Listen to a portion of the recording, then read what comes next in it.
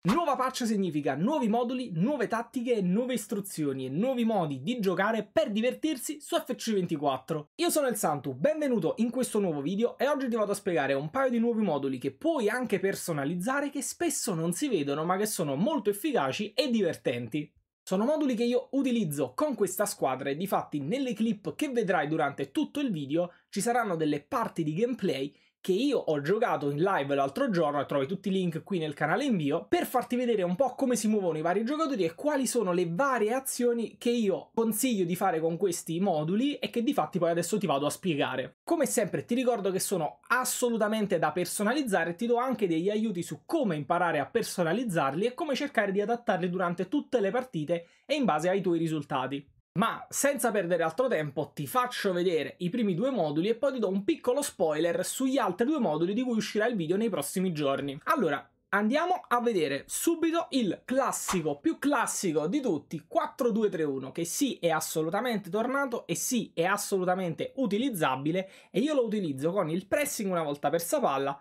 40 di ampiezza, 71 di profondità con equilibrato e passaggi diretti, con un piccolo asterisco. Il pressing è stato leggermente depotenziato e quindi ci saranno un po' di spazi in più a centrocampo, ma il nostro 4-2-3-1, che fa tanta densità al centro del campo, ci permette di dare un piccolo aiuto alla nostra squadra, alla nostra CPU, per stare al centro del campo. Ma se questa condizione non ti piace, dobbiamo cercare di mettere equilibrato e abbassare un po' la profondità, secondo me, tra il 60 e il 65. Ma se risulta ancora troppo alta, abbassiamo fino a 55 perché portiamo la squadra in maniera molto standard, ma andiamo a vedere con le istruzioni tra pochissimo come andare a buildare esattamente questo modulo. Equilibrato passaggi diretti con 40 di ampiezza ci permette di tenere la squadra abbastanza compatta, però non troppo stretta ma nemmeno troppo larga. Se però ti piace giocare molto di più sulle fasce, ti consiglio addirittura di spostare il tuo cursore sopra il 71, perché come vedi qua sotto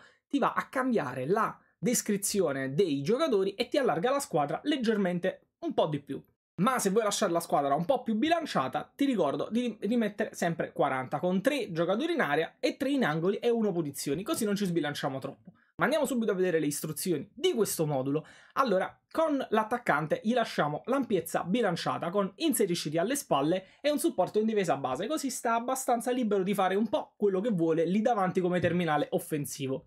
Andiamo a giocare a vedere il nostro COC con un rientra in difesa, così si schiaccia un po' di più verso la linea dei centrocampisti e questo modulo diventa una specie di 4-5-1. Stessa cosa per i due esterni con rientra in difesa e resta al limite per il cross. Perché resta al limite e non entra in area come facevamo sempre? Perché se gli metti entra in area per il cross tendono gli esterni a buttarsi a scappare verso l'attaccante e quindi a dare meno opzioni di ripartenza col contropiede, soprattutto quando hai palla con il terzino o con uno dei due CDC, perché vedrai subito che la squadra scappa, invece con resta al limite per il cross i giocatori tendono a rimanere un po' più passivi verso la linea dei centrocampisti. Mentre ai due CDC, molto standard, intercetta linea di passaggio, resta dietro in attacco e copertura al centro. Ai due terzini, resta dietro in attacco e sovrapponiti, con un asterisco bonus se hai uno dei due terzini molto offensivi, come possono essere anche in questo caso i miei, Llorente o Baciao, per esempio cancelo, invece di mettergli resta dietro, gli metti partecipa all'attacco o semplicemente attacco equilibrato, così il gioco deciderà se farlo sovrapporre oppure no.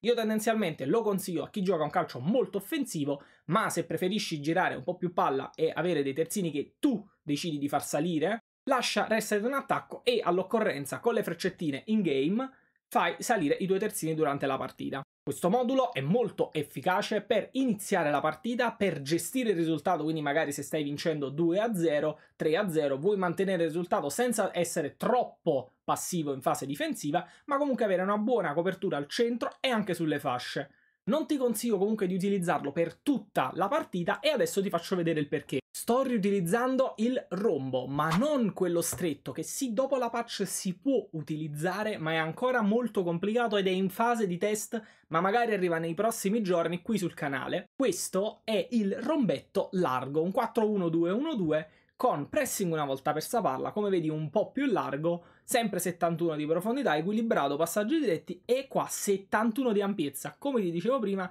ma qua è una condizione necessaria perché questo è un modulo largo. E adesso ti spiego bene come utilizzare questo modulo perché non è difficilissimo ma va spiegato. Perché come vedi qua hai assolutamente un CDC singolo e un COC barra CC ma la cosa fondamentale sono le istruzioni di questo modulo, perché questo è un modulo che può potenzialmente diventare un 4-5-1 in linea, o un 4-2-3-1, un 4-2-4, in base a come gli diamo le istruzioni ed è altamente personalizzabile in base ai giocatori che tu hai in squadra. Una condizione fondamentale di questo modulo è che il CDC abbia un buon work rate, solitamente un normale alto, un basso alto, come appunto hanno Raikard, i vari Witzel, Chouameni, perché il CDC deve stare fisso, piazzato davanti alla difesa e in base ai tuoi gusti puoi preferire un Kanté, un Makelele, quelli là piccolini ma molto agili, oppure un gigante appunto come Raikard, i vari Vieira, questi qui, sogno in grande.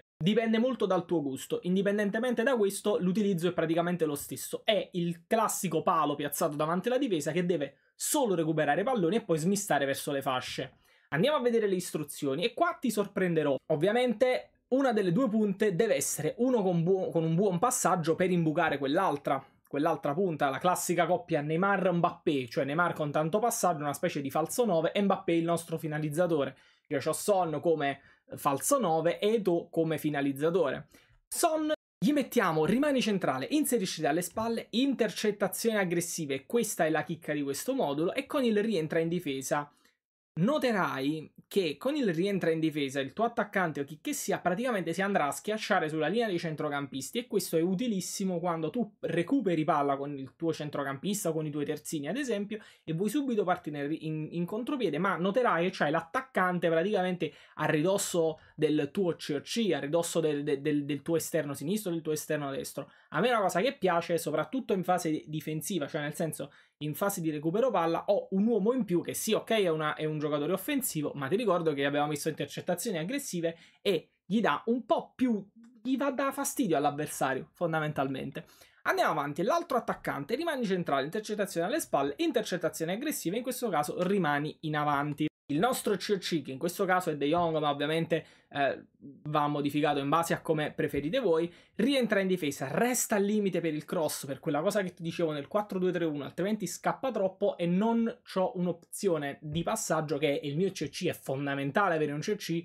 che stia sempre sul pezzo e anche a lui intercettazioni aggressive. Ai due esterni rientra in difesa, gioca largo, importantissimo per quella cosa che vi ho detto prima nelle tattiche dopo il 71 di ampiezza, così stanno praticamente attaccati alle linee e la squadra avversaria, non la vostra, si sfalda totalmente con resta al limite per il cross e intercettazioni aggressive. Non gli metto nessun tipo di supporto perché personalmente non mi piace molto perché con inserisci dalle spalle scappa troppo, con accorcia e, e rimane troppo passivo e con Torre ovviamente non sono dei giocatori a, a, abbastanza forti fisicamente per poterla fare, quindi gli lasciamo supporto equilibrato uguale per entrambi gli esterni. Al CDC intercetta linee, resta dietro, intercettazioni aggressive, che è clamoroso soprattutto se avete quei CDC come Kanté o per esempio che hanno il playstyle dell'intercetto, quello con l'amo,